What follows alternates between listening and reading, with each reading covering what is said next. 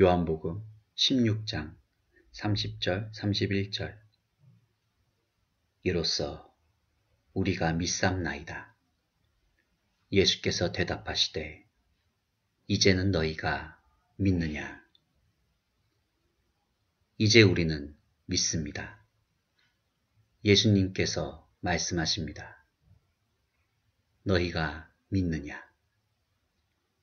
너희가 나를 홀로 두고 떠날 시간이 다가오고 있다.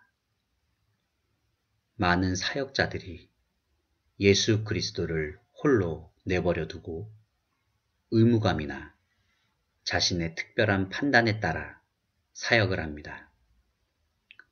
이렇게 되는 이유는 예수님의 부활하신 생명이 그들에게 없기 때문입니다.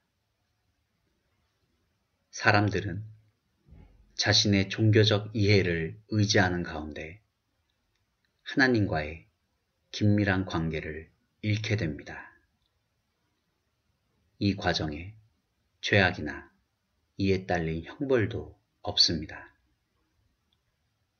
그러나 예수 그리스도를 바르게 깨닫지 못함으로 인하여 혼돈과 슬픔과 어려움이 발생합니다.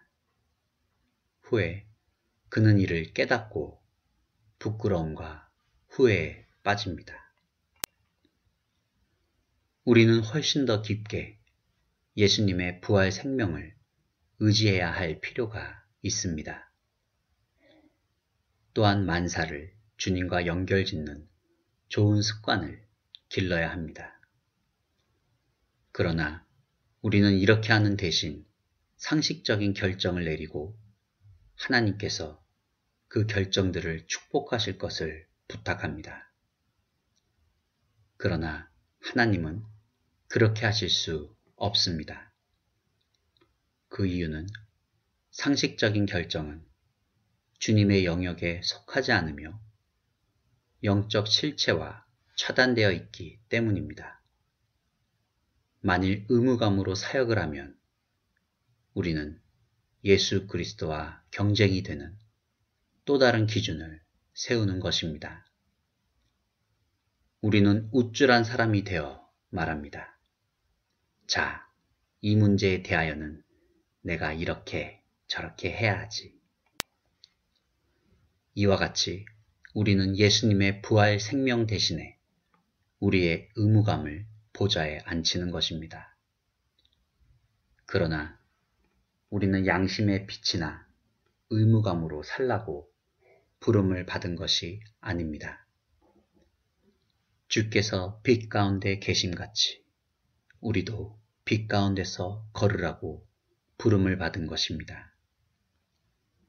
우리가 의무감으로 무언가를 할 때는 그 일을 왜 하여야 하는지 따질 수 있습니다. 그러나 주께 순종하기 위하여 무엇을 할 때는 따지는 것이 불가능합니다. 바로 이러한 이유 때문에 성도들은 쉽게 조롱을 받습니다.